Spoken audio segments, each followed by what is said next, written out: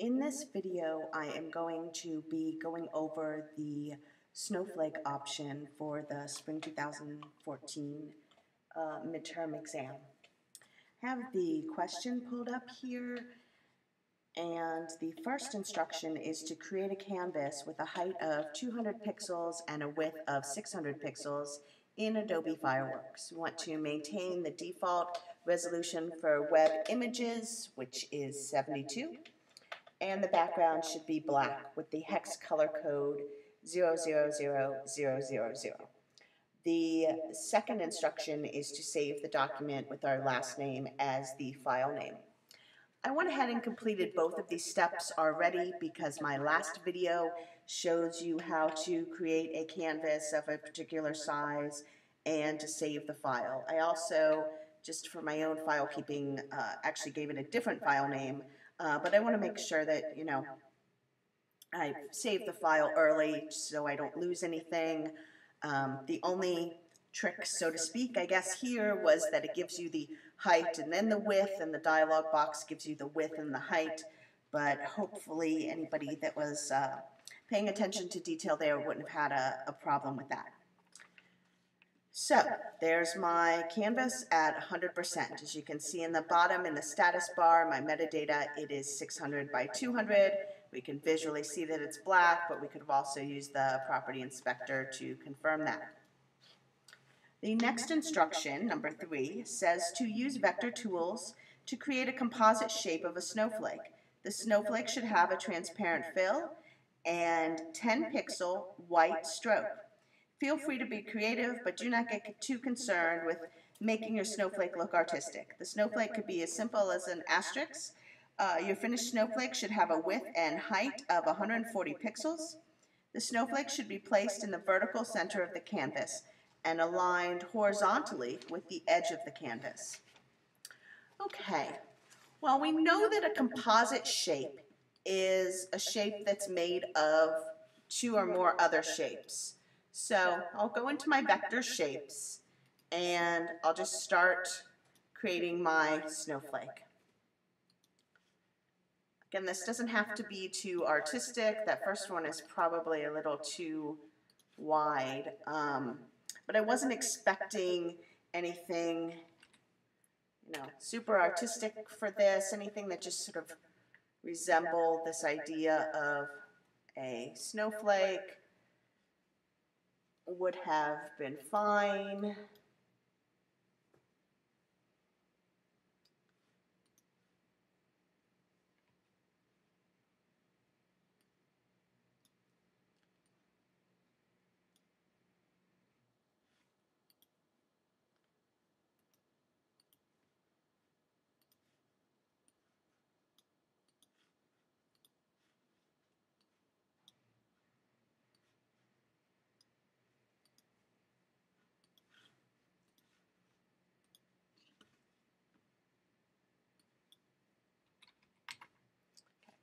Like I said, this doesn't have to be, you know, a work of art.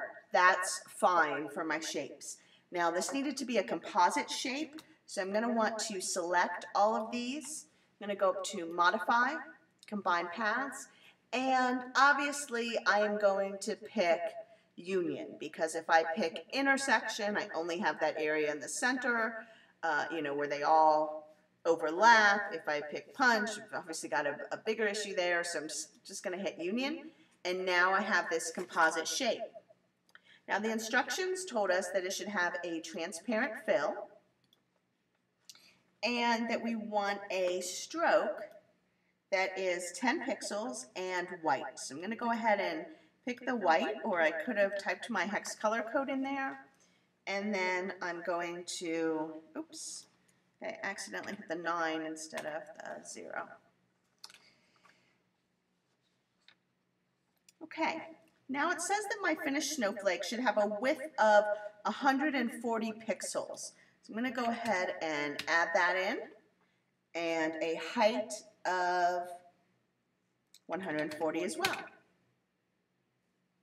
And then it should be placed in the vertical center of the canvas and aligned on the left edge. So I can use the align panel for this. We want to align on the left edge and we want to align in the vertical center. Now I am finished with this step. Step four, on a new layer named My Text, type Happy Cinco de Mayo in a 25 point sans serif font. Use the color code 9966FF. Have your text appear in the shape of an ellipse that is 275 pixels in width and 50 pixels in height. Center the text horizontally and vertically on the canvas. Okay, so I'm going to go to my layers panel. I'm going to create a new layer. I'm going to name my new layer my text. I'm going to go ahead and type my text. Now it tells me that I want to use a sans serif font.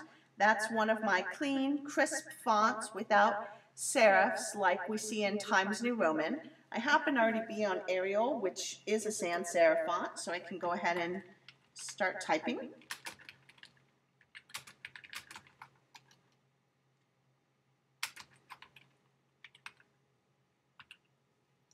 It says this should be 25 point font, which it already is. And I was given a hex color code, so I might as well go ahead and change that now. Let's see, it said here 9966FF. Now I want my text to appear in the shape of an ellipse, so I need to go ahead and draw my ellipse. And my ellipse should be 275 pixels by 50 pixels. It doesn't matter what my stroke or fill is because this is all going to be replaced momentarily when I attach this to the path. I'm just going to go up to text, attach to path and now I see my, my text on the ellipse.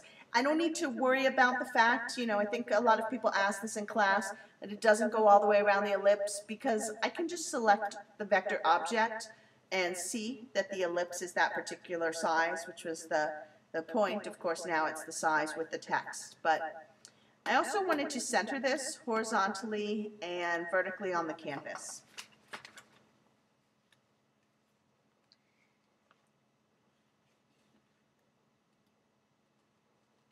On a new layer, named My New Layer, use a vector tool to draw an octagon, which is an eight-sided figure, with a width and height of 180 pixels.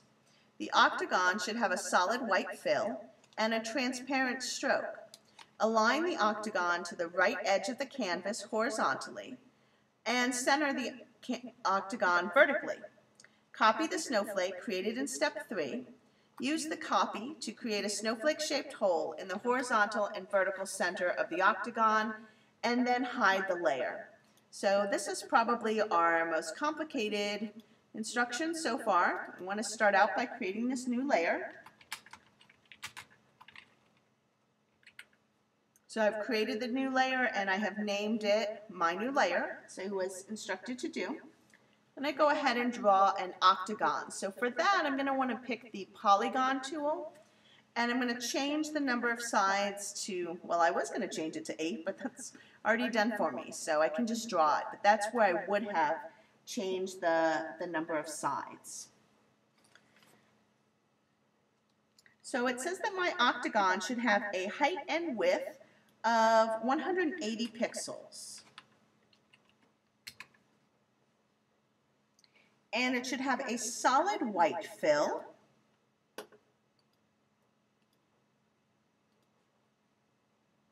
and a transparent stroke, which it already has. Should be aligned to the right edge of the canvas. Now you might be wondering at this point whether or not you need to transpose this uh, so that it, um, you know, is so that this edge is, you know, parallel to the edge, that's really not necessary. I mean, you can certainly do more than you were asked to do, but this is, this is fine. So I've aligned it to the right edge. I've centered it uh, horizontally, or sorry, I centered it uh, vertically and I lined it to the right edge horizontally. So now I want to copy this snowflake.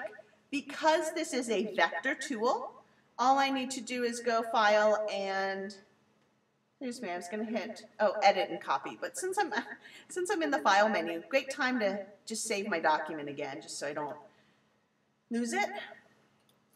So I'm going to copy that. I am going to paste it. Now bring my pasted area over here. Now I want to center this horizontally and vertically in the octagon. So I'm going to change my align panel from relative to canvas to relative to object. I'm going to hold down my shift key and I'm going to select both the octagon as well as the snowflake and I'm going to align that. It didn't move that much. It looked like I had actually gotten pretty close to that when I had placed it there. Okay, so I want a snowflake-shaped hole in the octagon. So I'm going to go up to Modify, Canvas, oh, sorry, uh, Modify, Combine Paths, and I'm going to pick Punch. Oh, wow. So this was actually in the wrong order on my layout, is what's happened here, is that my snowflake looks like was actually underneath the octagon. So let me just go ahead and do an undo here. And let's see what's going on. So if I unselect everything,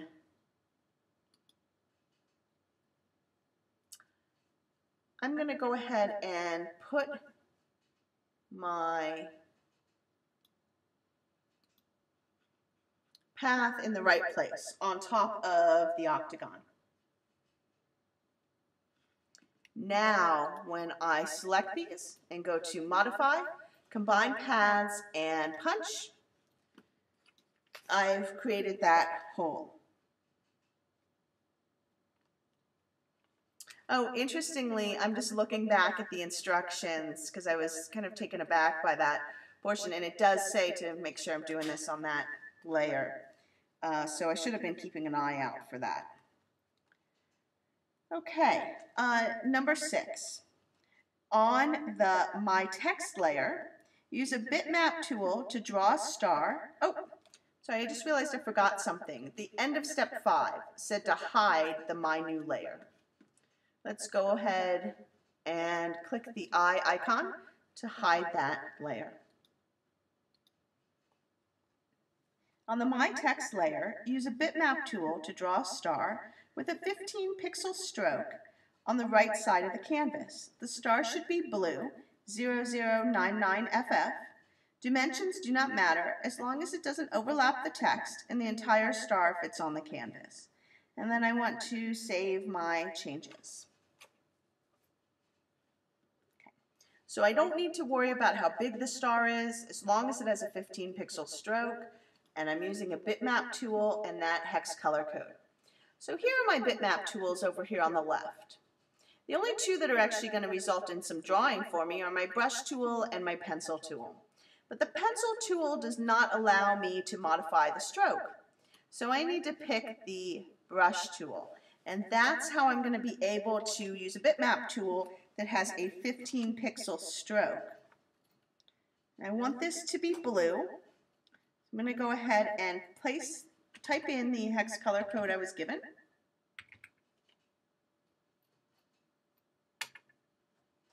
And now I can just draw my star. You know, anything would have been fine. Um, oh, now my star's not appearing. Uh, this is actually a good thing because it's pointing out to me that I'm on the wrong layer. So if you notice I'm drawing on my new layer, but the instruction told me to draw on the my text layer. So I'm going to go ahead and undo that and make sure that I get down to the my text layer and sure everything is ready for me to use the, oh,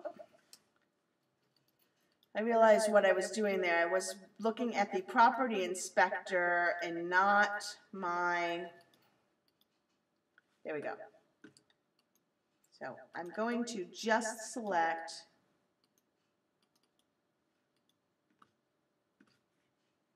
the layer, but not that object. All right, so notice here I just have my text selected. So with that brush tool, I wanted 15 pixel and blue. And now I can finally go ahead and draw my star. You know, it would have been fine to just draw something like this. Or, you know, something like this. Or, I mean, there's so, so many ways that you can do this. Obviously, I'm going to have to undo a few times for that one. Um, there's so many ways that you could have drawn the star. It really doesn't matter. I'm just looking for the 15 pixel width and that hex color code.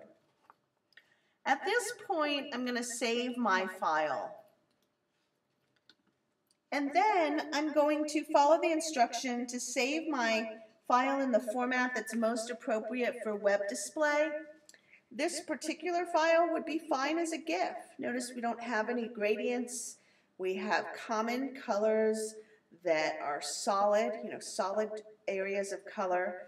Uh, so this one, you know, would have been just fine as a GIF. That would be the most appropriate format for this. And then afterwards, I would have imported my GIF file into an HTML page. I'm not going to actually do that in this video because I feel like we've gone over that portion uh, so much, and that's actually not really one of the areas that people have problems with the exam. So I'm going to go ahead and end the video now. And you can certainly look through that instruction uh, page to, to see how we uh, got to this point as well.